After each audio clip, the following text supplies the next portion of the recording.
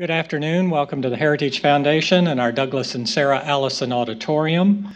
We, of course, welcome those who join us on our heritage.org website on all of these occasions. For those in house, we do ask that last courtesy check that our mobile devices have been silenced or turned off. And of course, those watching online are welcome to send questions or comments at any time simply emailing speaker at heritage.org. And we, of course, post the program following today's event for everyone's future reference on the Heritage website. Leading our discussion and welcoming our guest is Paul Larkin. Mr. Larkin is our John, Barbara, and Victoria Rumpel Senior Legal Research Fellow in the Edwin Meese Center for Legal and Judicial Studies. He directs our overcriminalization project to counter the abuse of criminal law, particularly at the federal level. From 1984 to 93, he served at the Department of Justice as an assistant to the Solicitor General and as an attorney in the criminal division. He also has argued 27 cases before the U.S. Supreme Court. He then served as counsel to the Senate Judiciary Committee and head of the crime unit for Senator Orrin Hatch, then the panel's chairman. He has also served at the EPA as well as in two major Washington, D.C. law firms. Please join me in welcoming Paul Larkin. Paul?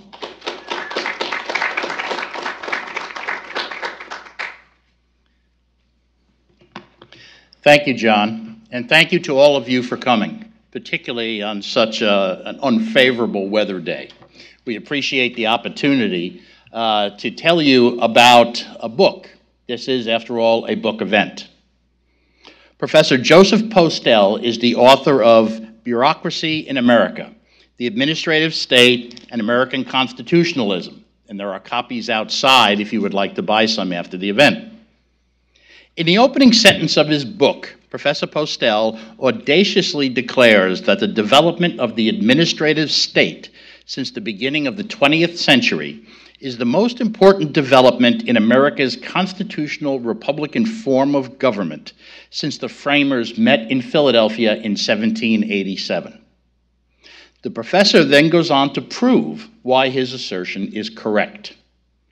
In the process, he educates the reader whether that reader is a rookie or a veteran of numerous battles with the administrative state, why everyone should be concerned about how far we have strayed from the allocation of federal government authority set forth in our nation's charter. In Professor Postell's view, there has always been a tension between administrative power and American constitutionalism much as the ego regulates the contest between the id and the superego, administrative law governs the tension between the administrative state and the rule of law. Yet, although bureaucracy in America focuses specifically on the constitutional and legal status of administrative power, Bureaucracy in America is not a treatise on administrative law along the lines of the ones written by professors such as Kenneth Culp Davis. Instead, Bureaucracy in America explains the maturation of 20th century administrative law by describing the political and constitutional philosophies of progressives, New Dealers, liberals, and conservatives, as each one in turn sought to create control, promote, or retard the historical growth of the Leviathan. Professor Postell achieves that result by using, as he puts it, quote, an integrative approach, unquote. He canvasses the historical background to and the philosophical underpinnings of the administrative state that exists today. He also describes the Sherman through Georgia like march that we have witnessed as today's administrative state has grown from a small bureaucracy that delivered the mail and administered federal pensions toward a behemoth that can require a license to cut someone's hair and can tell local schools throughout the nation what bathrooms its students must be permitted to use. I have read Bureaucracy in America, and it is a terrific Terrific book. Anyone interested in the administrative state, administrative law, regulation, bureaucracy, or the separation of powers should read it. it is sure to become a classic reference on the subjects identified in its title. And I am very thankful he's willing to share time with us today to talk about his book. Now, let me tell you a few words about our guest author, Professor Joseph Postell. He is an associate professor of political science at the University of Colorado at Colorado Springs. He teaches courses on American political institutions, American political thought, and administrative law. Professor Postell has also been the visiting fellow in American political thought with the Simon Center at the Heritage Foundation throughout the 2017 to 2018 academic year, and we are fortunate to have him. His research focuses on regulation, administrative law, and the administrative state. He is the editor of two other books Rediscovering Political Economy with Bradley Watson and Toward an American Conservatism with Jonathan O'Neill. He is also a frequent contributor to the Liberty Fund's Liberty, excuse me, Library of Law and Liberty. It's a website on political thought. Without further ado, let me turn the stage over to our guest, Professor Joseph Postell. Please join me in giving him a warm welcome.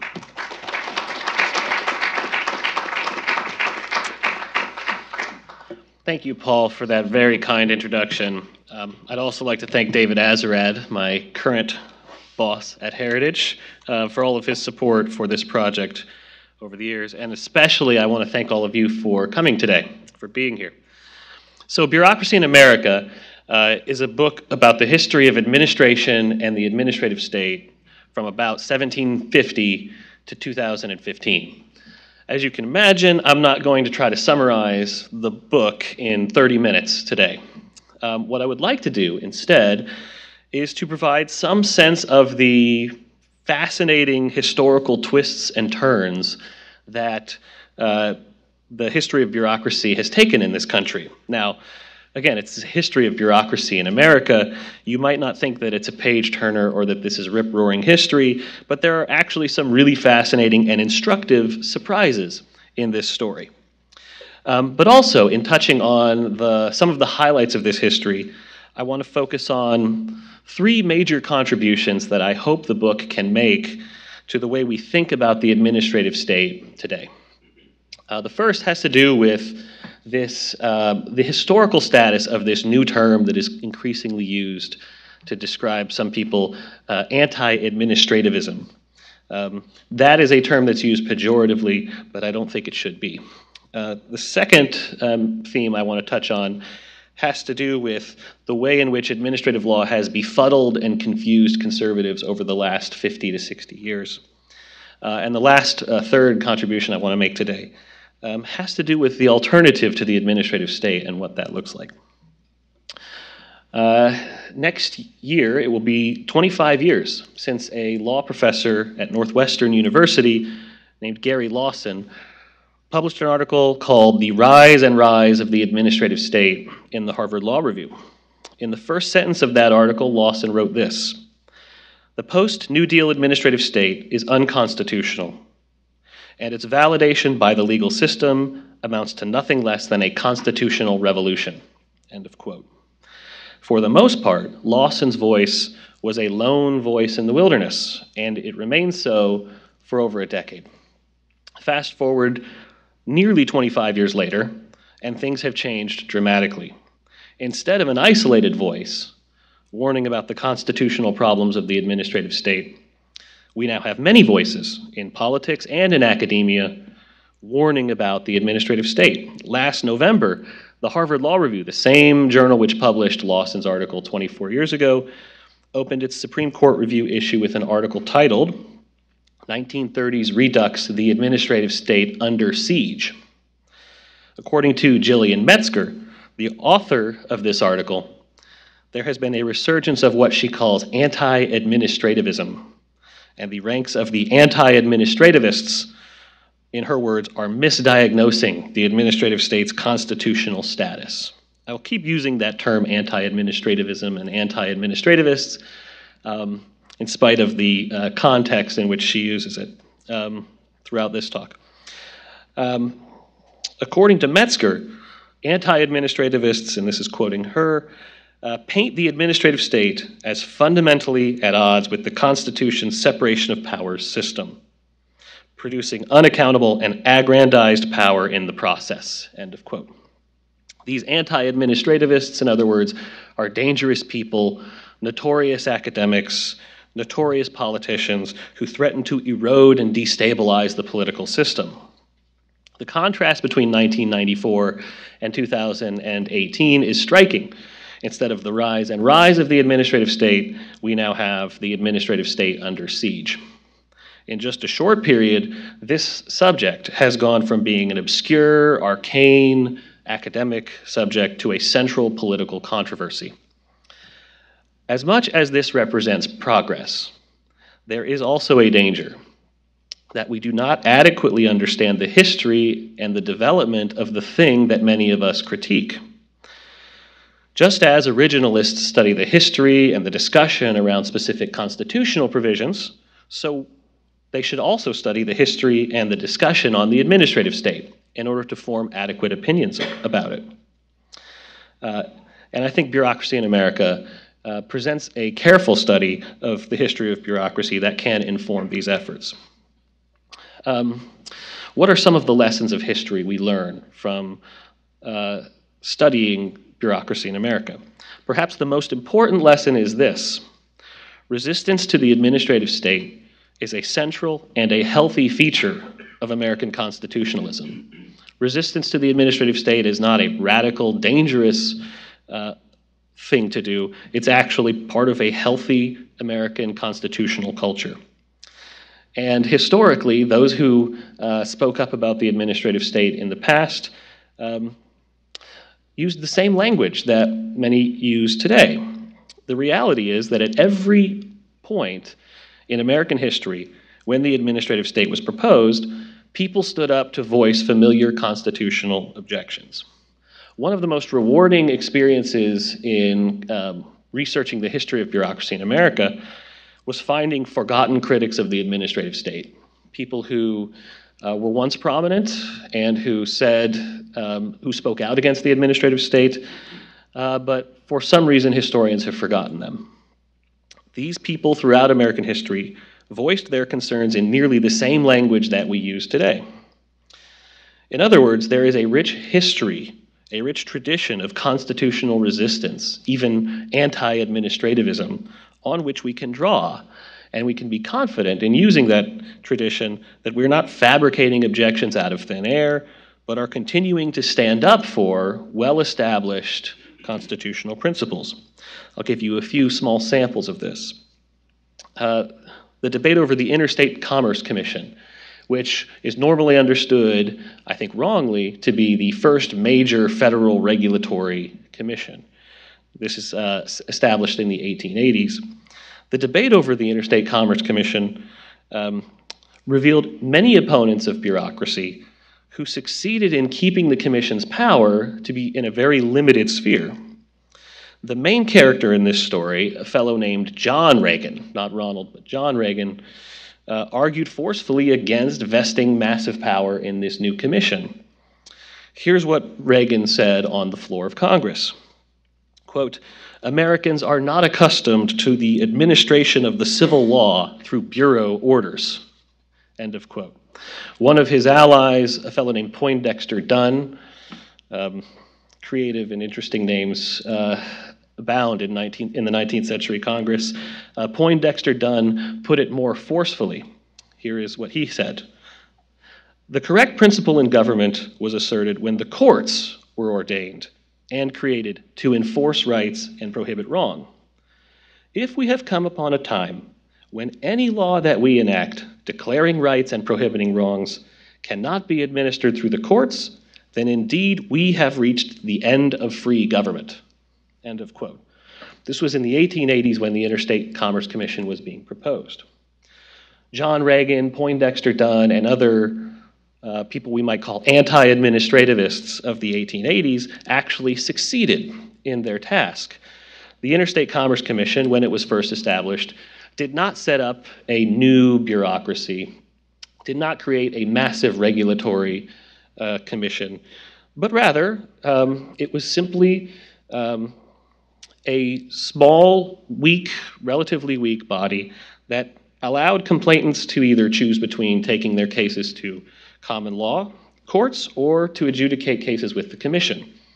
Uh, the Interstate Commerce Commission was not able to enforce its decisions, and it could only ask U.S. attorneys to file suit in federal district court for the enforcement of the ICC's uh, decisions. In other words, the ICC, when it was originally created, lacked power to take any final action when it was created, and it served largely as an initial fact finder. This is why one member of Congress said, when it was being created, that it was merely, quote, an ornamental board of as little use as the fifth wheel in a wagon, end of quote. Um, scholars seem to think that the ICC was sort of this new Rubicon that we crossed in the 1880s, and the reality is very different. Uh, take some other uh, examples um, from other periods in American history. Not all of the uh, resistors to the administrative state were conservatives. The real surprise, actually, when looking through this historical record was how many progressives were anti administrativists. Uh, this is the really shocking story in uh, American history. There were many progressives who agreed with the ends of the administrative state, but they were very critical of the means used to reach those ends. And probably the most surprising character here was Theodore Roosevelt's chief opponent in the 1912 presidential election, Woodrow Wilson. Woodrow Wilson in 1912 attacked the administrative state in terms that resemble those of Philip Hamburger in his great book, Is Administrative Law Unlawful? Let me give you two quotes from Wilson that, again, do not sound like the Woodrow Wilson we've come to know from uh, contemporary stories about him. Here's a speech Wilson gave on Labor Day during the 1912 presidential election. Quote, What I fear is a government of experts God forbid that in a democratic country we should resign the task and give the government to experts. End of quote. That was Woodrow Wilson in 1912. Now, it might be tempting to dismiss Wilson's anti administrativism as mere campaign rhetoric. But Wilson had actually been voicing these concerns for many years. Uh, in a 1908 speech, four years before the 1912 election, called Law or Personal Power, Woodrow Wilson said the following The government of the United States was established to get rid of arbitrary, that is, discretionary executive power. If we return to it, we abandon the very principles of our foundation. End of quote. Again, if I read that quote and told you that it came from somebody like Philip Hamburger, you would actually believe it, and yet it was Woodrow Wilson in 1908.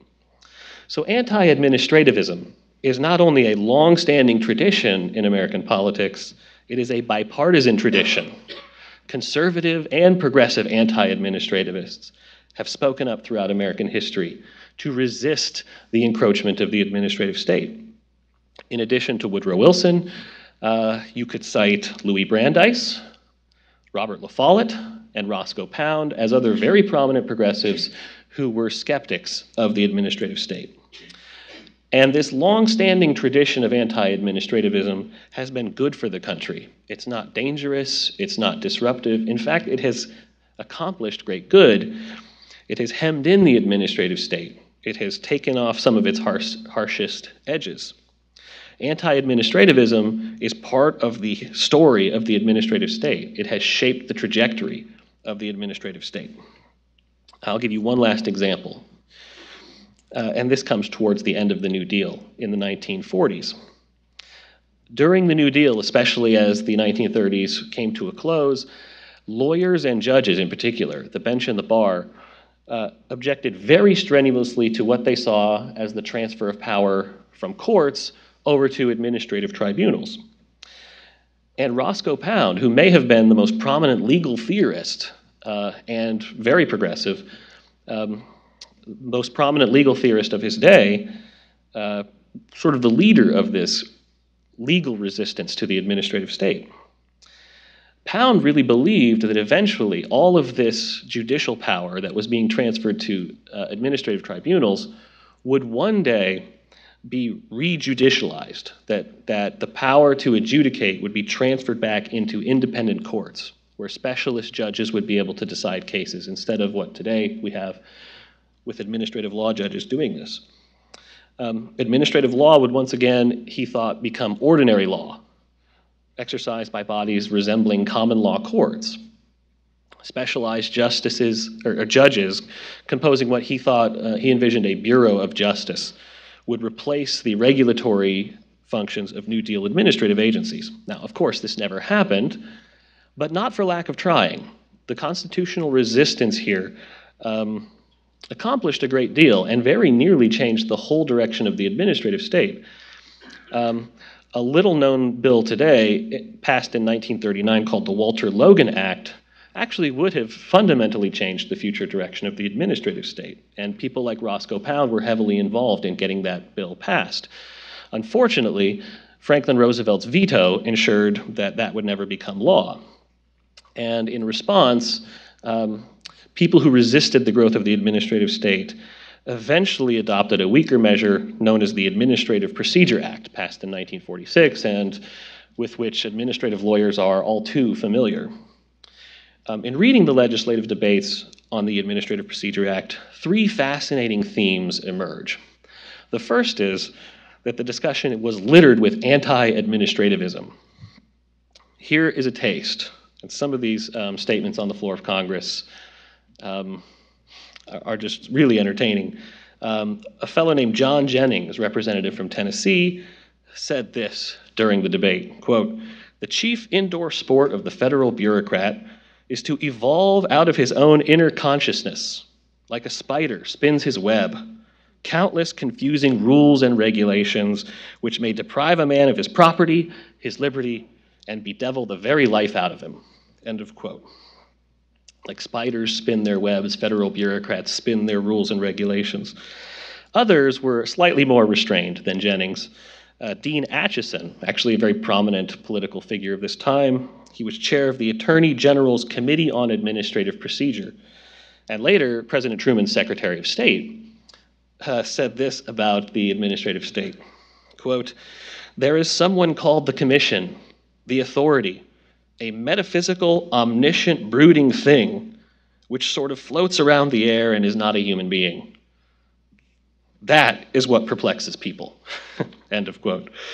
Um, hardly a reactionary, hardly a, uh, a staunch originalist, Acheson nevertheless understood that at the very least, citizens needed some protection from the threat of this brooding, mysterious, omniscient, uh, metaphysical authority in his words.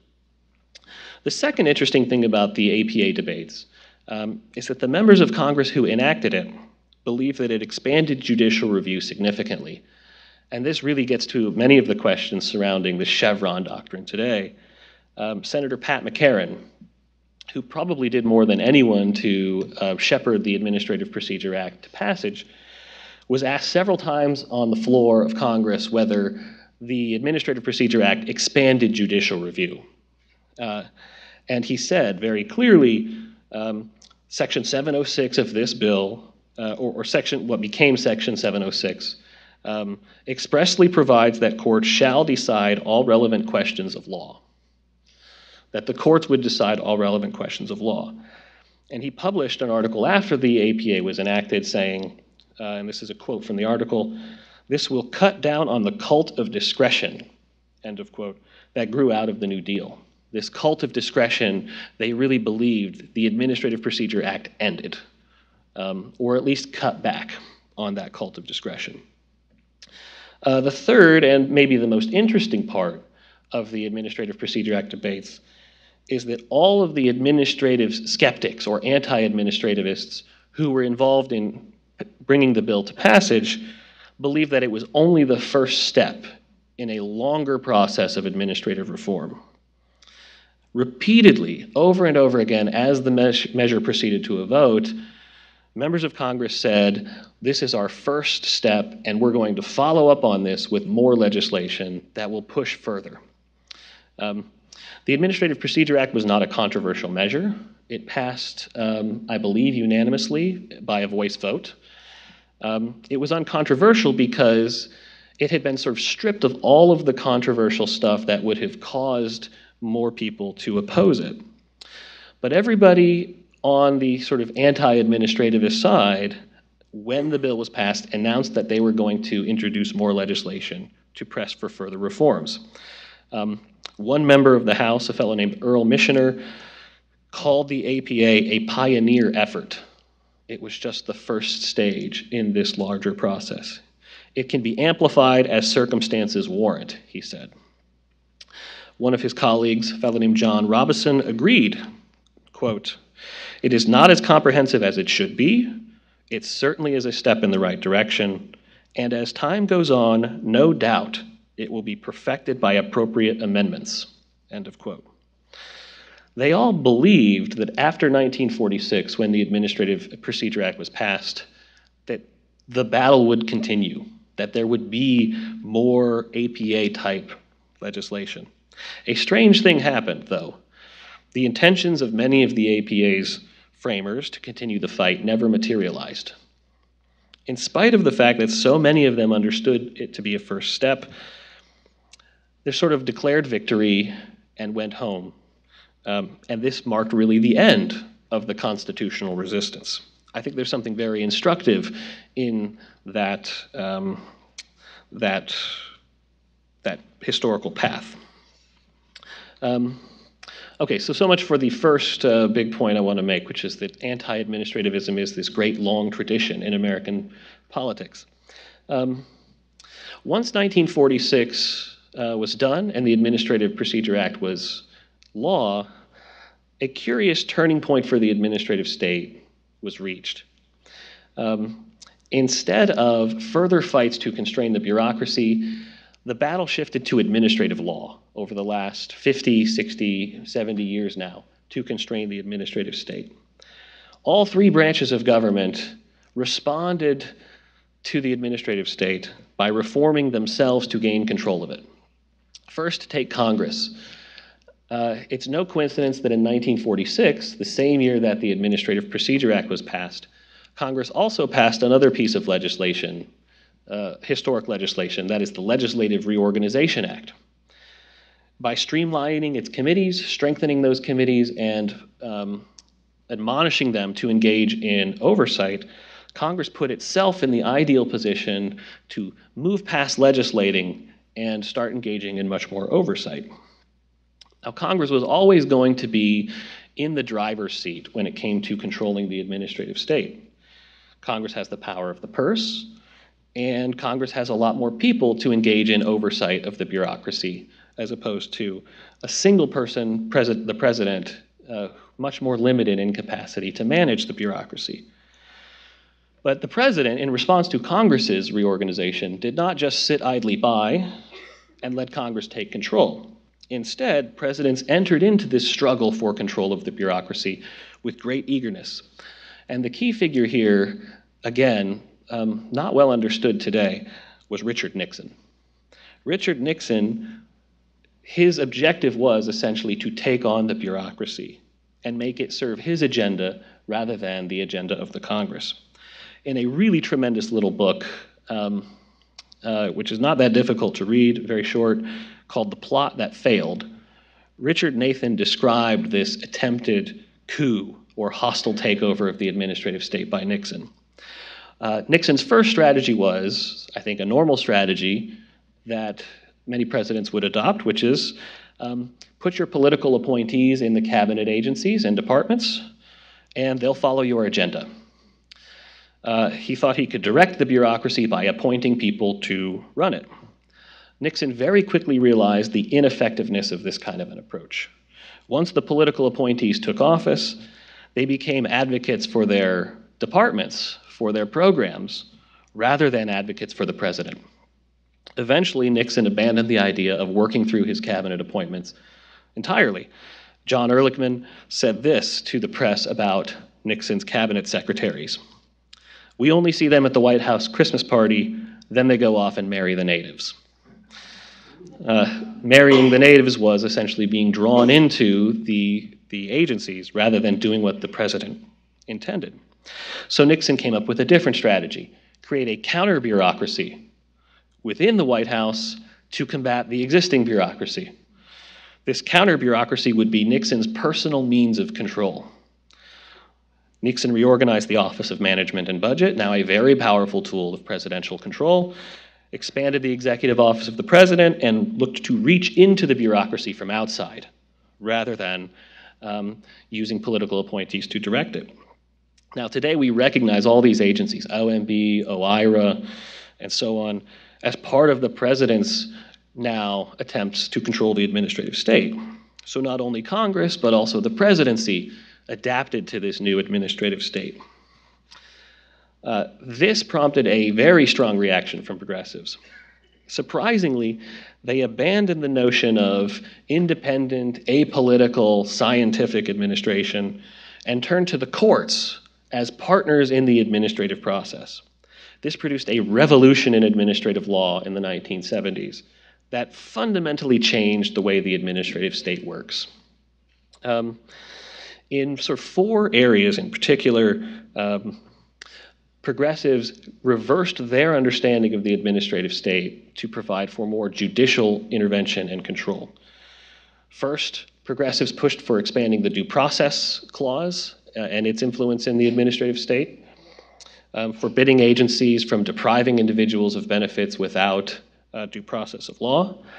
They dramatically expanded the procedural requirements for administrative uh, rulemaking they also relaxed standing requirements so that people could sue administrative agencies to get their preferred outcomes uh, enacted.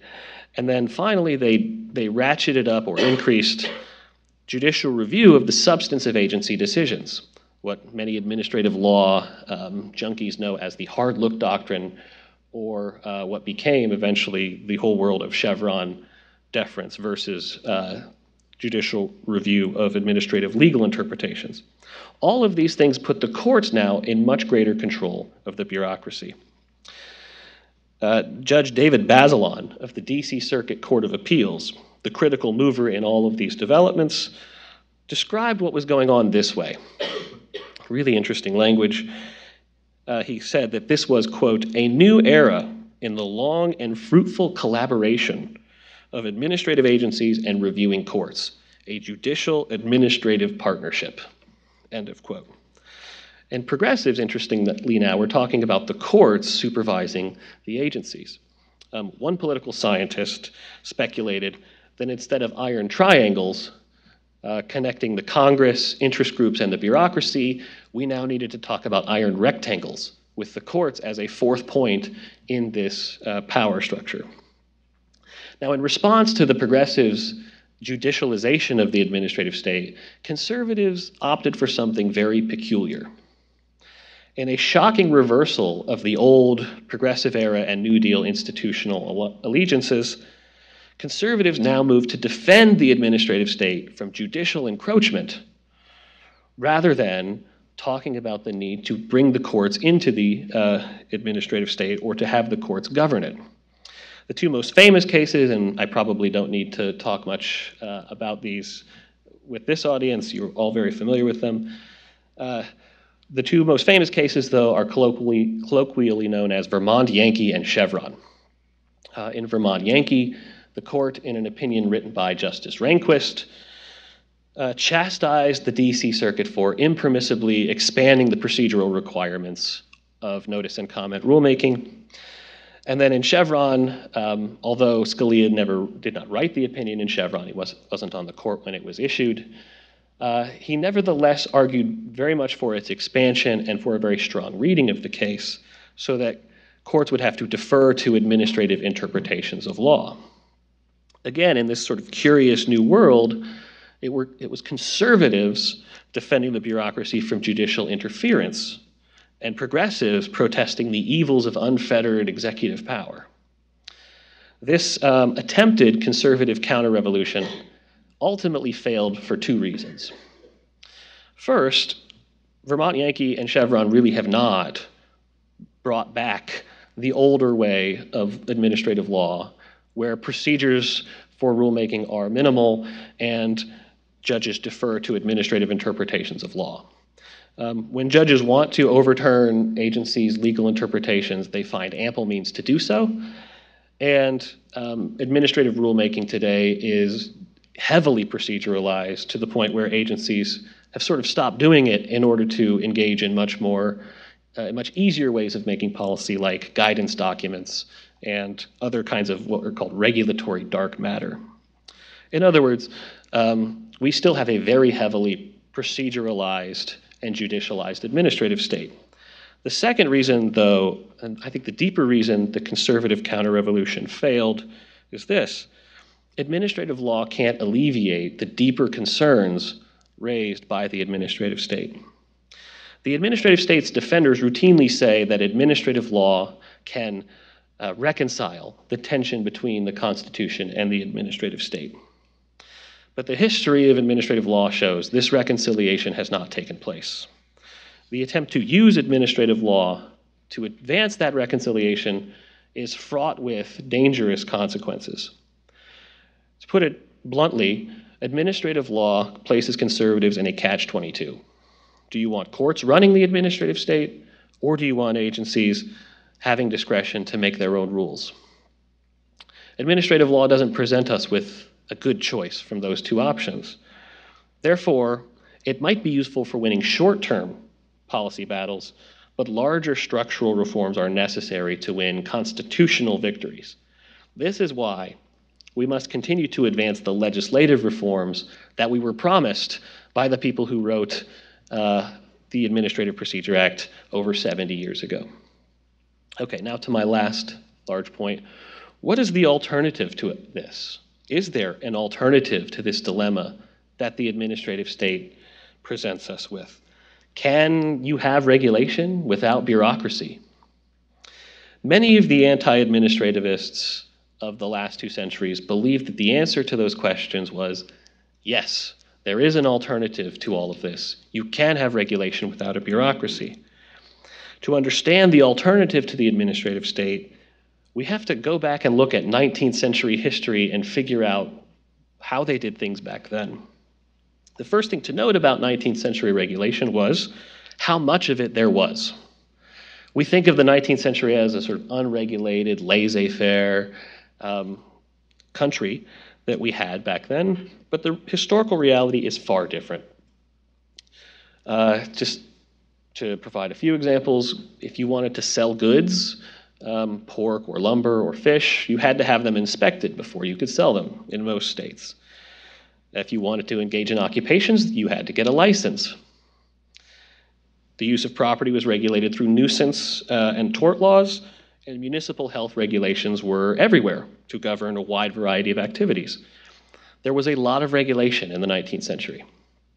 So, if there was so much regulation in the 19th century, how did Americans manage to avoid creating an administrative state?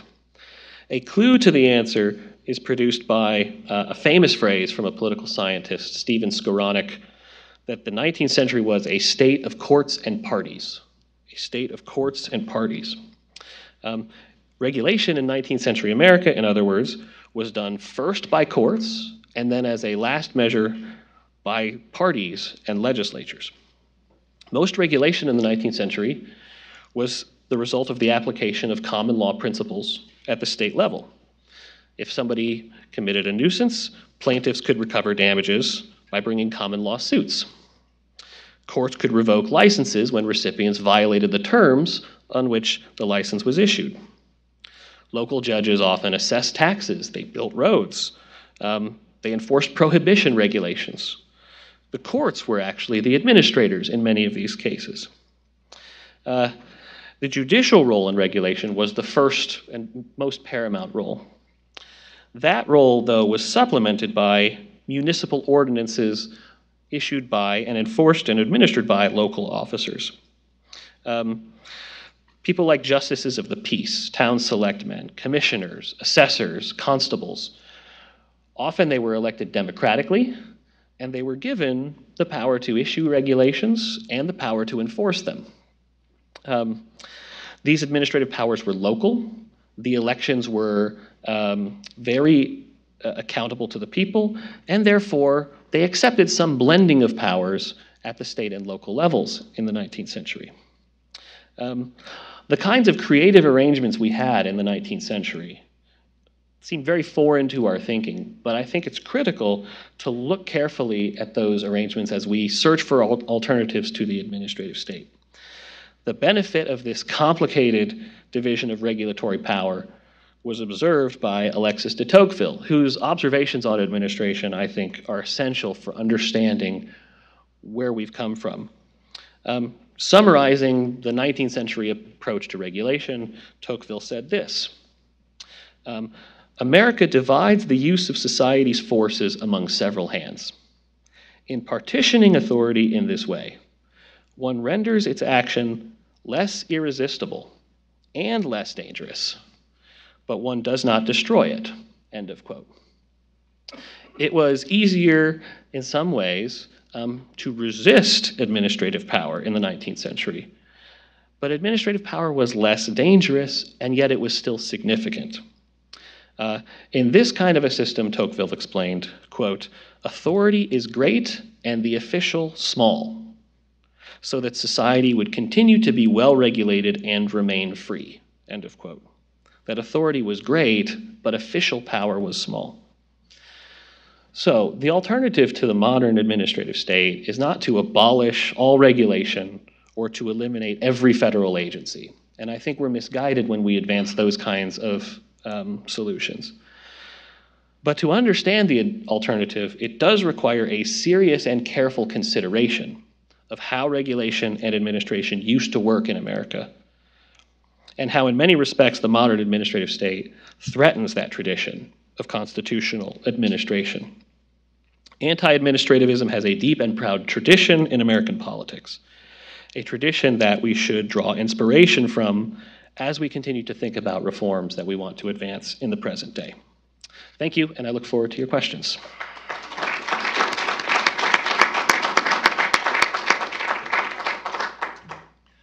I want to open it up to questions from the audience in the back. Diane. Thank you so much for your comments. I'm Diane Katz from Heritage.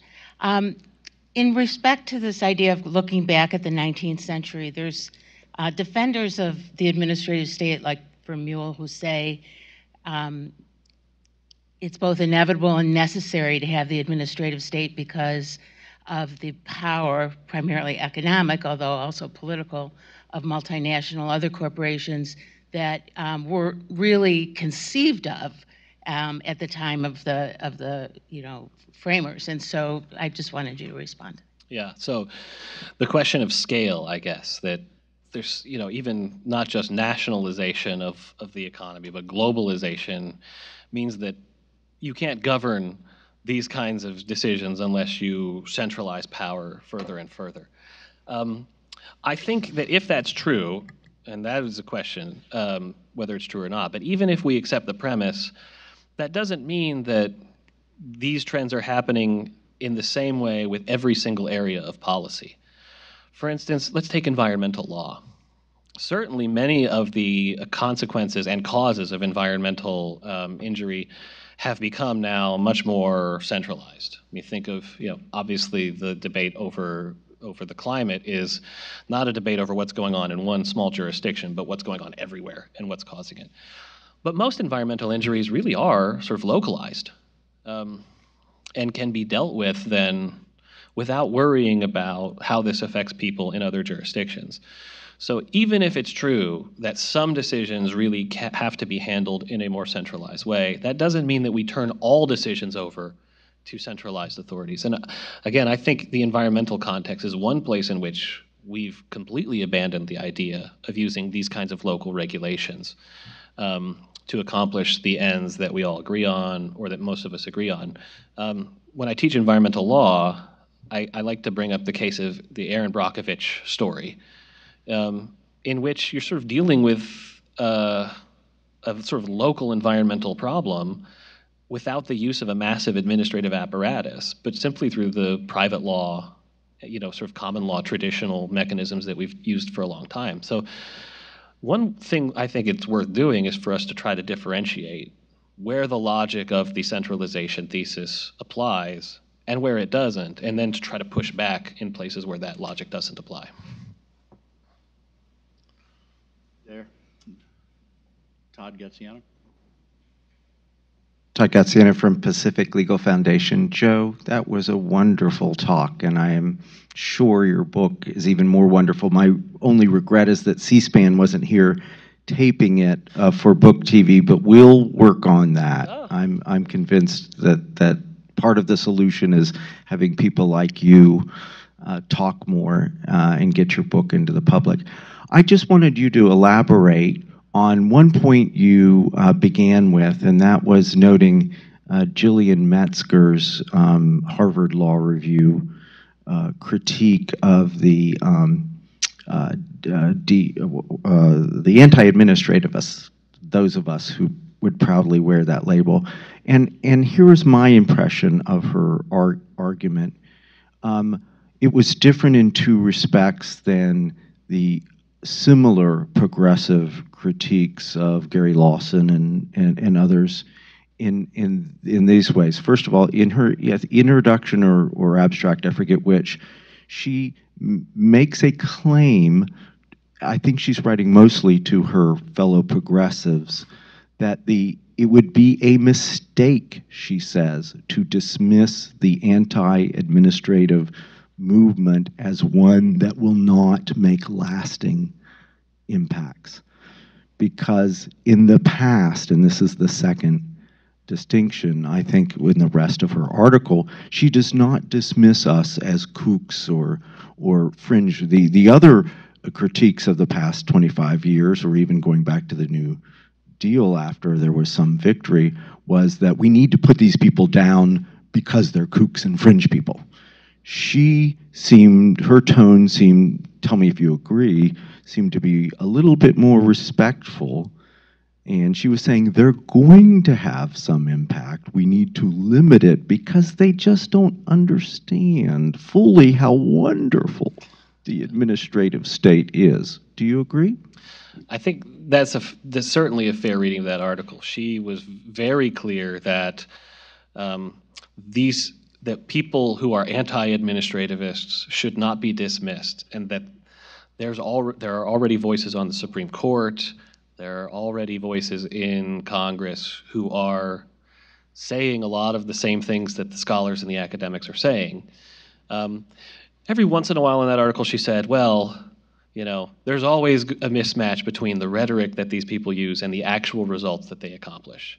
But she was certainly not dismissive um, of the the danger that people of this persuasion presented.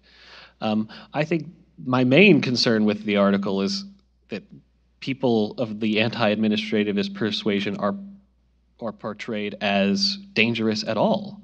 Um, and this is a sort of, I think this is one of the deep intellectual blind spots of the pro administrativists, I guess, um, if we're going to call them that, is that they have this sense of sort of rational government, and the only way government can work is through this sort of rational design. And the messiness of politics, where you have elections for people who have to make important decisions, and they, you know, might take money from people. Um, and all of these kinds of things they just they don't see any room for that in politics which strikes me as a very narrow and limited understanding of what politics is.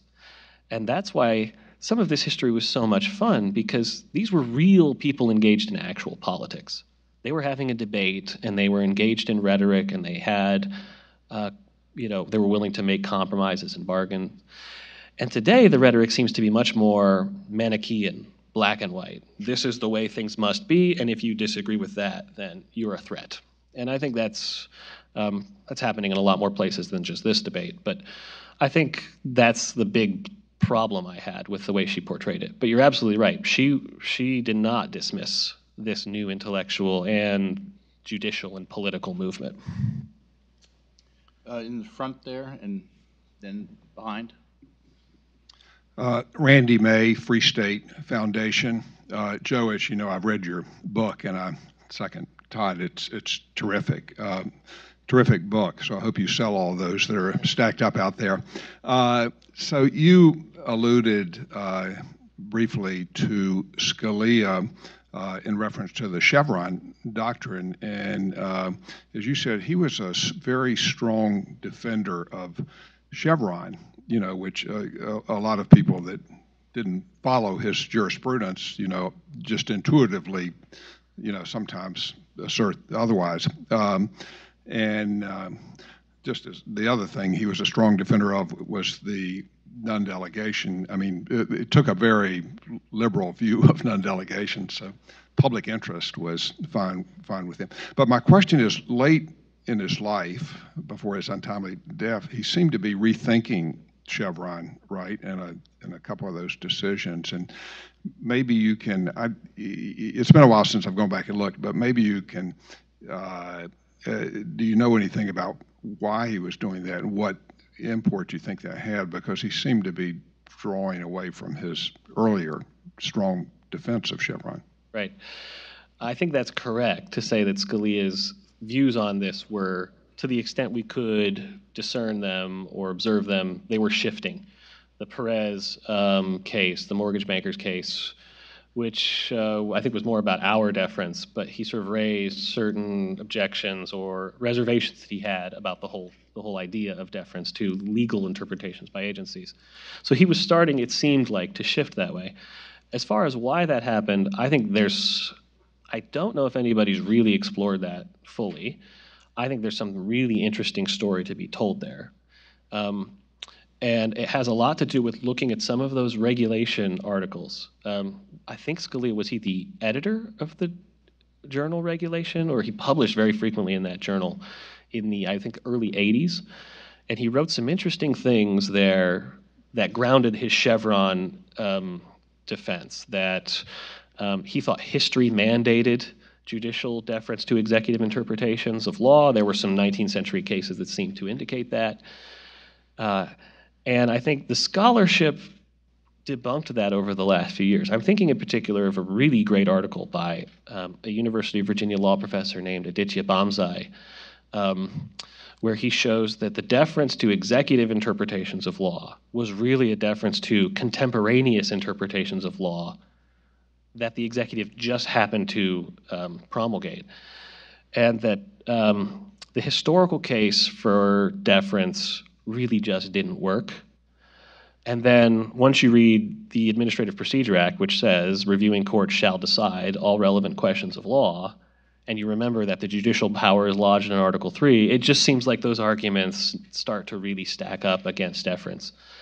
I think he was being persuaded of that, and I can only speculate on those things, but um, I think he was starting to come around to that way of thinking.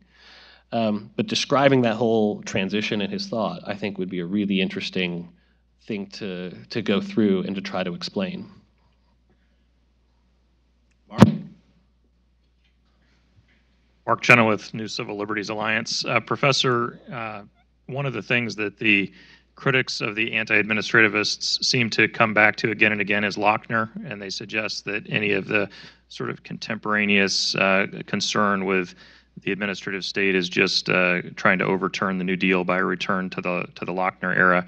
The the quotes that you uh, that you shared from Roscoe Pound and and Woodrow Wilson and others would seem to refute that. But I wonder if if you might say more about uh, whether there's validity to that uh, return to Lochner thesis. Right.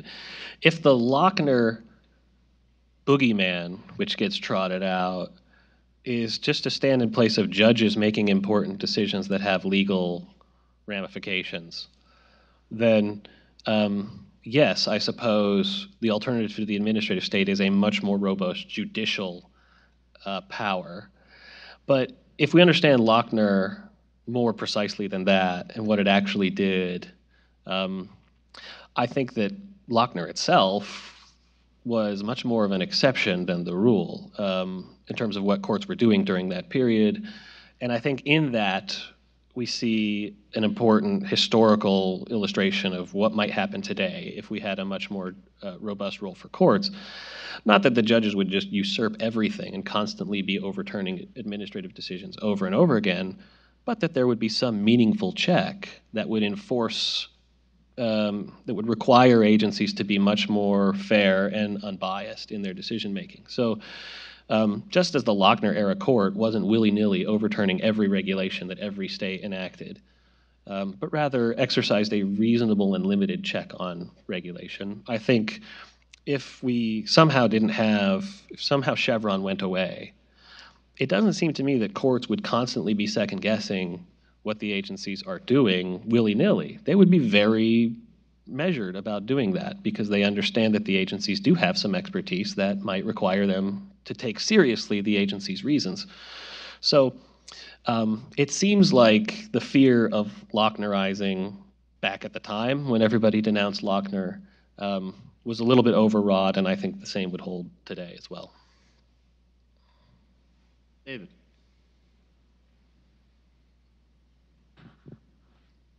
Joe, what would the architects of the administrative state think of the administrative state today? Would they say, this is what we had in mind, it's great? Or would this be a case of, well, this is not what we had in mind. In theory, it was supposed to work out differently. This is a monstrosity. Mm-hmm. So the I, by architects, I mean the Goodnows, the early progressives who defended the idea of moving power out of the political branches into the administrative state. Right. That's a really great question. I think they would be um, somewhat naively optimistic about the administrative state in spite of how badly, from their point of view, things have gone. Um, you can find, you know, there's the idea of capture theory that once you lodge administrative power, or lodge this power in administrative agencies that are insulated from accountability, interests know exactly where to target their resources, and the American people don't follow the administrative process, and therefore it's a lot easier to actually get corporations can get their preferred policies done much more easily in the administrative state. People were voicing those concerns like in the late 19th century and early 20th century. Capture theory was a thing way back before it became an actual term. Um, and the perfect uh, illustration of how some progressives eventually realized that this was a problem, um, the, the illustration of this is James Landis, who one of the three or four people most responsible for laying out the theoretical case for administration has a famous report to the president elect in 1960, John F. Kennedy, where he says, Well, the practice of administrative law has actually been the opposite of what we anticipated. Um, it's really inefficient. It's actually not efficient. Science is not driving these decisions, it's a bunch of interests that are doing it. And you would think that he would have inferred from that that the project needed to be seriously rethought. But if you read the report carefully, he says, no, we can fix this by just adding more administrative law. Um, if we just set everything up just right and we learn from our mistakes, we'll fix the administrative state. So he sort of always maintained this optimism that it was going to work out. My sense is that most progressives today, or most pro administrativists today, would take the same view that there's all kinds of bad things happening in the administrative state, it's corrupt in various ways, but if we just purify it, even more than we have, then we'll finally get what we want. Um, that I think betrays a lack of historical understanding that um, I think those of us who are maybe a little more skeptical of administration need to be constantly reminding them that history points in the opposite direction.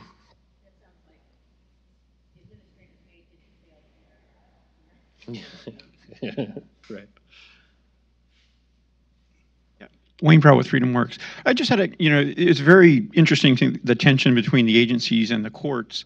I just was wondering your thoughts on, on the REINS Act and whether Congress reinserting itself into the process is a good thing, and do you think that will be a would be a positive reform over the long run? Um, yes. Uh, the REINS Act, which would basically say Congress has to enact major rules, um, which meet this sort of economic threshold of 100 million uh, per year of annual economic impact. Um, I think we could talk about the scope of it and sort of, you know, uh, different aspects of the law, which we might, you know, disagree about some of the particulars. But the general idea, which is that Congress should be enacting law, is just so commonsensical that it's hard to see how people disagree with it. And there are two really interesting people who have endorsed the REINS Act, or the idea of the REINS Act. The first was James Landis, who, right in the middle of the New Deal, in the middle of the 1930s, said, We should probably have agencies sending their rules over to Congress for up or down votes. And the other one is Stephen Breyer, who has actually endorsed. Um, and again, not people that we would expect to be hard anti administrativists, think that this is probably a good idea in the American system that laws enacted by elected representatives. Um, the Congressional Review Act and its recent uh, sort of resurgence of use is, I think, very positive because it's shown that Congress can be held responsible when it's willing to take responsibility, and we can look and see who's responsible for these decisions, and we have some electoral control over them. So um, I think it's one of the fundamental uh, principles of our system. The REINS Act, I think, seeks to, to try to bring us back to that principle. I have time for one more question. All right, pressure's on. I'll try to make it good. Uh, Bryce Chenault with the GW Regulatory Studies Center. Uh, thank you for your presentation. Enjoyed this very much. I, I also I enjoyed when you were talking about de Tocqueville and some of the 18th century observations about where authority is great but official power is small. And I was wondering, are there any 21st century examples of that we could point to that were the administrative state is functioning well, and that maybe could be emulated elsewhere, something that we could build off of? Um, if we think about the policies, I I think it's important to keep the policies enacted by the administrative state versus the structural crisis that it presents. I think it's important to keep those separate. I think you could make the, cla- the case, and it's hard to identify causality here, but you could make the case that environmental regulation in this country has been a resounding success. Um, the Clean Air Act, uh, the, the, you know, the pollutants identified in the Clean Air Act have been dramatically diminished since the, the law was passed. Now, you can debate over what the cause of cleaning the air was. Was it the Clean Air Act or was it, you know, um, technological advances and what's the relationship there? But I think many of the objectives that the administrative state is designed to promote, many of the ends are perfectly reasonable, legitimate ends. Workplace safety, pure food and drug, um, those things are are reasonable ends. They're good ends. Um, the difficulty is when you set up enormous arbitrary, potentially arbitrary power in order to attain those ends. And so, I think there have been some successes of the administrative state on a as a policy matter, but at what cost to the sort of structural integrity of our political system? Those those questions are it's harder to measure the damage it's done to the structure of the system. Um, and so that's why I think we should be increasingly intent, attentive to those costs. Listen, thank you all for coming, and thank you for your questions. Please join me in thanking our guests.